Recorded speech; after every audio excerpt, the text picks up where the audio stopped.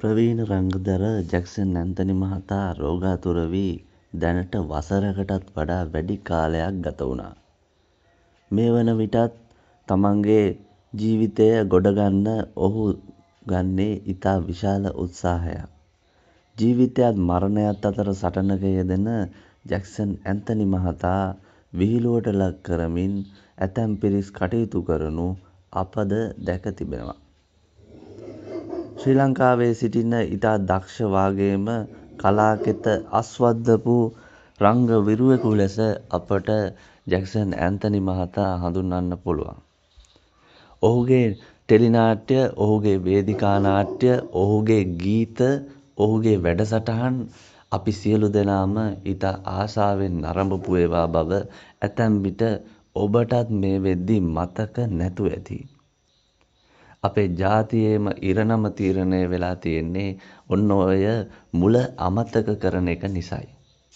කොහොම වුණත් පසුගිය දිනක වසරකුත් ගත වුණු මෙම රෝගාතුර වූ ඒ ඛේදනීය සිදුවීමෙන් පස්සේ ඇන්තනි පවුල විසින් ධර්ම දේශනාවක් සහ තවත් පින් අතේ වැඩ කටයුතු බොහොමයක් තමන්ගේ පියා වෙනුවෙන් සිදු කරා. ඒ සෙත්පතා ඉක්මනින්ම ඔහුට සුවය ලබා ගන්නයි.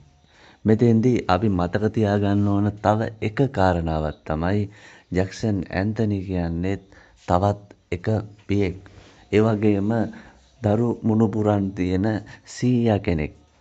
කොහොම වුණත් මේ සමාජ මාධ්‍ය ජාලාවලට එකතු වුණු මේ පින්කමේ ඇතම් ඡායාරූප සහ වීඩියෝ දර්ශනවලට ඇතැම් පිරිස් විසින් හිනා මුසු මුහුණු එකතු කරමින් එය සමච්චලයකට ලක් කළා. හැමදාම වාගේ අසාධාරණයට විරුද්ධව කතා කරන පියුමි හංසමාලි මෙතෙන්දී කරලියට එන්නේ එහෙමයි.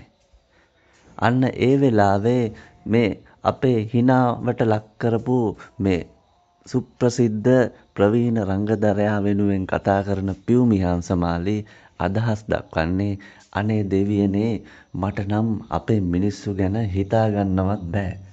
අසනීප වෙලා ලෙඩ ඇදෙන වැටුණු මිනිස්සයාට ඇයි hina වෙන්නේ?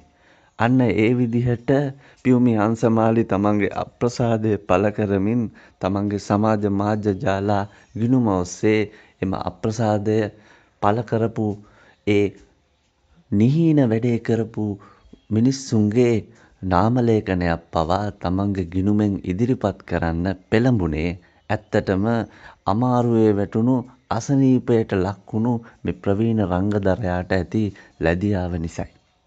ඉතින් යාළුවනේ මෙවැනි අලුත්ම තොරතුරු දැනගන්න සබ්ස්ක්‍රයිබ් කරන්න. ඔයාලට සුබ දවසක්.